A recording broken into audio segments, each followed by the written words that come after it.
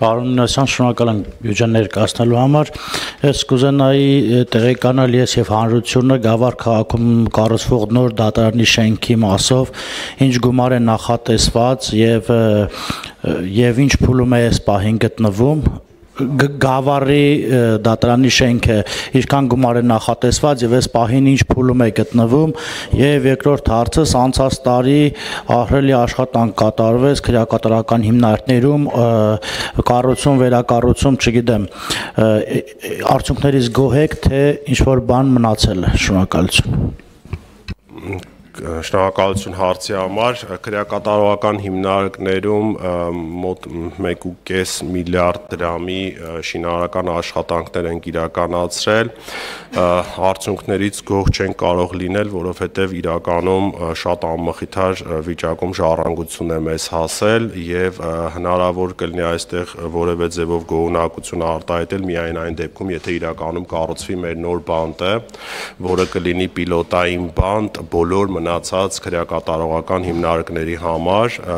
արդյունքները բավականին լավն են կապված արմավիր քրեակատարողական հիմնարկի հետ, որտեղ նորմալ պատշաճ պայմաններ է ապահովել, նաև օթափողության համակարգ է տեղադրվել, որտեղ որով որ կարելի ասել գոնե առնվազն ունենք մեծ մեկ բանտ, որը միջազգային ստանդարտներին համապատասխանում է, վերջերս նաև CPT ներկայացուցիչներն էին այցելել եւ բավականին հուսադրող էր գնահատականները, իհարկե խնդիր խնդիրներ կան, բայց շատ արագ դրանք հերթով լուծում ենք նաև մեծ շինարարական պրոյեկտ է արդեն սկսել եւ շինարարությունը ընթանում է առնվազն կեսը ավարտվել է Աբովյան քրեակատարողական հիմնարկում, որտեղ մեր քաղաքացիները կանայք եւ աչափահասներն են կրում իրենց պատիժը։ Այստեղ եթե որևէ խնդիր չծագի, կկարողանամ մյուս տարի ներկայացնելու ձեզ ասեմ, որ ունենք արդեն երկրորդ բանտը, որը համապատասխանում է միջազգային ստանդարտներին, արդեն իսկ փոխվել փոխվել է բոլոր գոյուղիները, սանհանգույցները, նորմալ վիճակում է, բայց ամբողջը վերանորոգում ենք։ Խորհրդային միությունից մնացած 6 մասնաշենք կար ու ամենտեղ տենց 20-30%-ներ հատկացված, մենք մի քանի մասնաշենք ազատել ենք եւ ամբողջ ներդրումը դրել ենք հենց 3 մասնաշենքի վրա, որ ամբողջությամբ 0-ից կկահավորվի գավառի դատարանի հետ կապված խնդիրներ կային, բայց բյուջեն արդեն այս դեպ դեպարտամենտը կավելացնի իրանց բլոկով, ասա ավելի շատ գնում, բայց եթե չեմ սխալվում, մոտ 450 միլիոն դրամ արդեն նախատեսվել է եւ ստեղ էլ եթե որևէ խնդիր չլինի, կտուրի հետ էր կապված խնդիրը, շինարարի հետ էր կապված խնդիրը, բայց մյուս տարի կավարտենք։ Այս տարի մենք դատարանա դատարանների շենքերի ապահովման մասով ամենալուրջ առաջընթացը, որ ունեցել ենք հակակոռուպցիոն դատարանների շենքային պայմանների ամբողջական ապահովում էր, այսինքն Գարեգին Նժդե փողոցի վրա ավարտեցինք հակակոռուպցիոն վերաքննիչ դատարանը ամբողջությամբ նոր հիմնանորոգված շենք է, որտեղ արդեն տեղակայվել են մեր դատավորները, նաև Թբիլիսյան խճուղու վրա վերանորոգեցինք վարչական դատարանը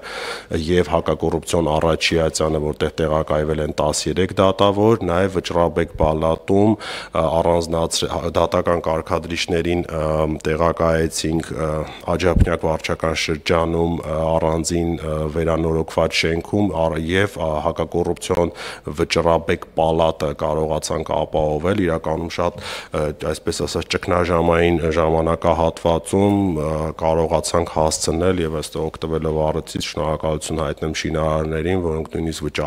վճարումներիններին, այսպես ասած, մեր բյուրոկրատիային չսպասելով արագ գործը հավարտին են հասցրել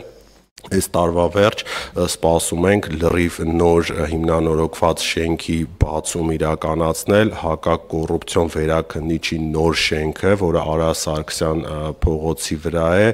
եւ եթե դա էլ է ստացվում, դա նշանակում է Գարեգին Նժդե հասցեում գտնվող շենքը կգա մեր պրոբացիայի ծառայությանը, որ այսօր շենքային պայմաններ չունի, բայց շարունակելու ենք։ Շատ հատկապես շատ վատ վիճակում են գտնվում գտնվում մեր մարզային դատարանները, բայց նաև մեր դոնորների հետ աշխատանքի արդյունքում է, որ մյուս տարի իրականացնելու ենք հիմնանորոգումներ, բայց նաև ունենք վարչապետի կողմից հանձնարարական ամբողջությամբ նոր ստանդարտներին համապատասխան դատարանների շենքերի կառուցում, որը հիմա համաշխարհային բանկի հետ արդեն նախագծել ենք այդ մեծ ռեֆորմը, որը մի քանի տասնյակ միլիարդ դրամի է հասնում, հասնում պատրաստ են արդեն ֆինանսավորել, ուղղակի մեր ֆինանսների նախարարության հետ են քննարկում, կարծում եմ մինչև տարվա վերջ ներդրումային կոմիտե կներկայացնենք։ Շնորհակալություն։ Արձագանք կա